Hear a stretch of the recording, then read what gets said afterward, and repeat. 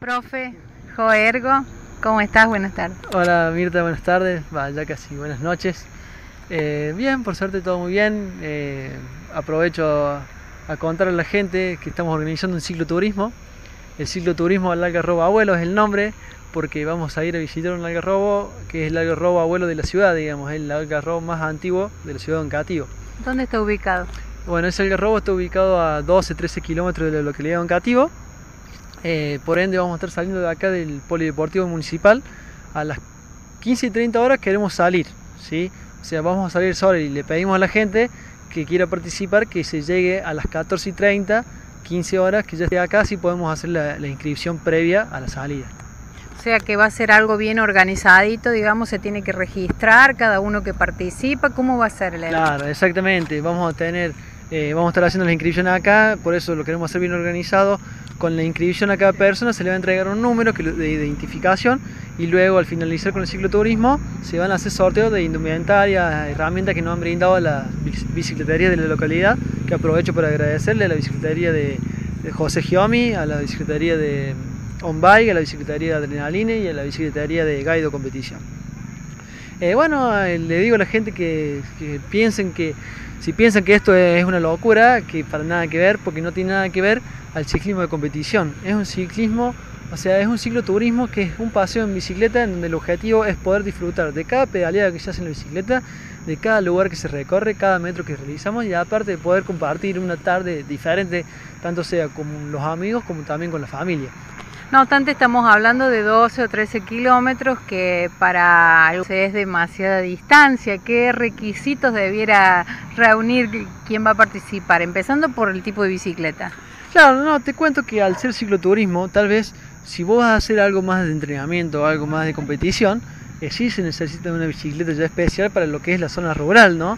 Pero ya al ser cicloturismo, que la velocidad no va a ser más de 15, 18 kilómetros por hora, el camino está lindo, el camino está bueno, ya lo hem- hemos ido hacer el recorrido con un ciclista amigo, con el Leo Ferreira. Y bueno, les cuento que el camino es hermoso, el Algarrobo es espectacular, muy lindo.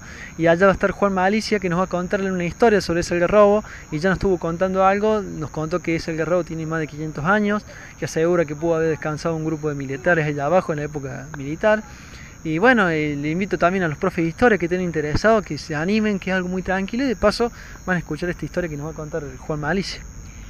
Deduzco por lo que me decís, allá va a estar Juan, no, no lograron que vaya en bicicleta.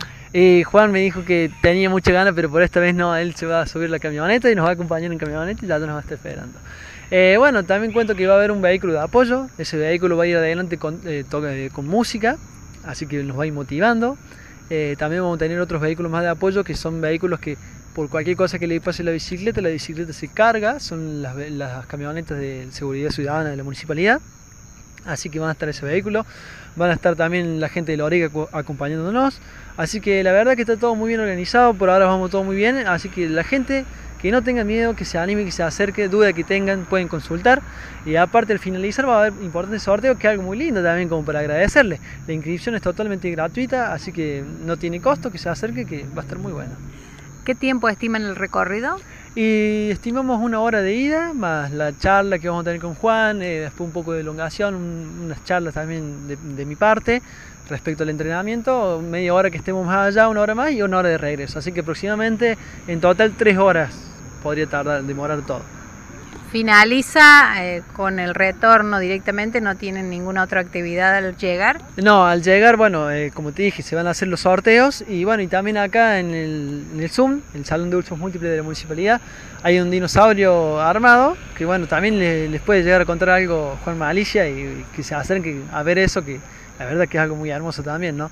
Y también cuento que ese mismo día se va a presentar eh, cuatro carteles, o sea, en realidad un cartel que se va a ubicar eh, uno en cada salida de la localidad de Oncativo, que es para que todos los automovilistas tengan precaución y que sepan que hay ciclistas entrenando, porque hoy en día el ciclismo ha crecido mucho y bueno, eso es una ayudita que le damos a todos los deportistas de que eh, de cuidarlos un poco, ¿no? Y que bueno, el automovilista sepa cuál es el respeto que le tiene que tener al ciclista que está entrenando.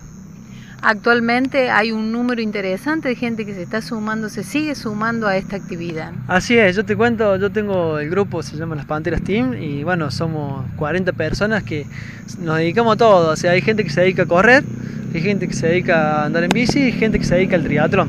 O sea, es como un grupo de multidisciplina, podría decirse.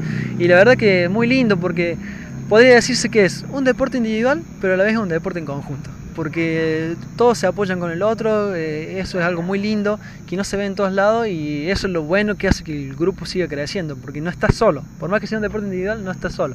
Y además, bueno, los planes son personalizados, cuando alguien no puede juntarse con el grupo, puede salir cada uno por su cuenta porque cada uno tiene su plan.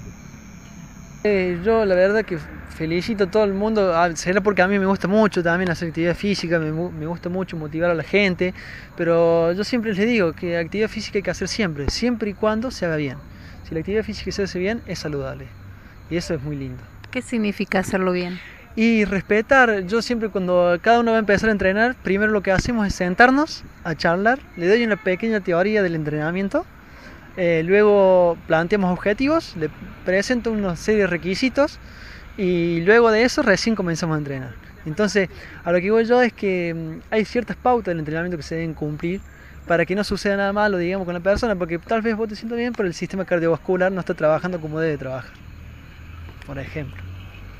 Es importante siempre dejarse guiar por alguien que entiende del tema. Y yo creo que sí, que es algo muy importante y bueno, y esto se va viendo día a día, la gente se va concientizando cada día más y como siempre decimos, cada cual en su tema, cada uno sabe de lo suyo, digamos, y bueno, yo gracias a Dios me estoy especializando en esto que me gusta mucho y bueno, seguimos día a día metiéndole pilas para que crezca todo.